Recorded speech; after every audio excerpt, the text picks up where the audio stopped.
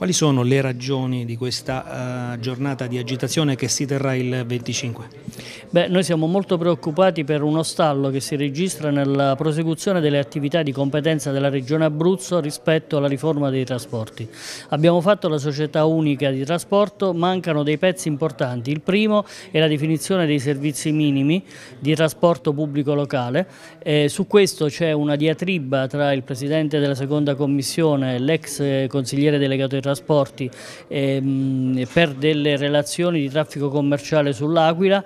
Noi riteniamo che debba essere immediatamente aperto un tavolo di confronto di merito e beh, bisogna far avanzare il processo di trasformazione della delibera di giunta in legge regionale.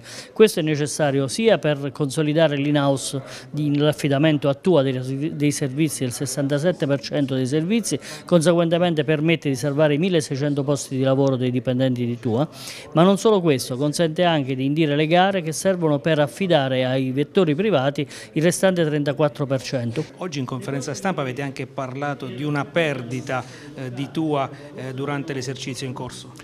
Sì, non è solo una perdita di tua, eh, cioè nel 2014 avevamo 187 milioni ferro-gomma di finanziamento, adesso siamo a 177 milioni, ci sono 10 milioni in meno, quindi su tutto il TPL abruzzese questa cosa pesa.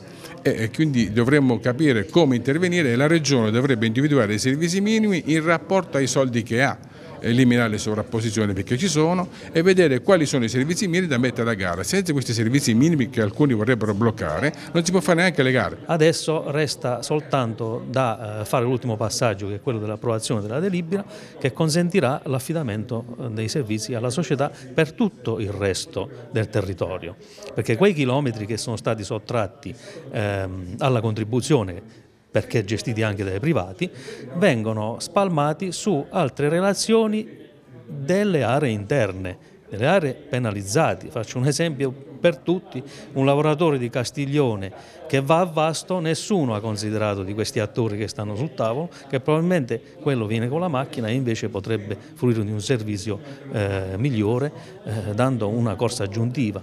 Eh, quindi i contributi dei, dei cittadini abruzzesi vanno impiegati in maniera utile ed efficiente.